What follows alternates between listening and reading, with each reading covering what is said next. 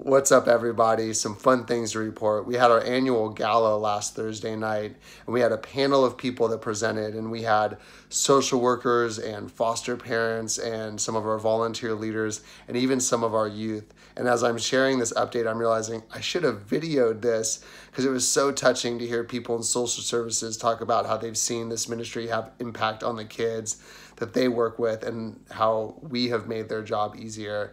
And it was even cooler to hear foster parents share about how they've seen the kids in their homes lives radically transform. And it was even cooler to hear leaders share how their lives have changed and how they've gotten to see kids impacted by this ministry. And it was the coolest to hear some of the kids share how Jesus has impacted their lives and changed them for eternity as they have learned that they have value and are loved because of volunteer leaders are hanging out with them and showing them that.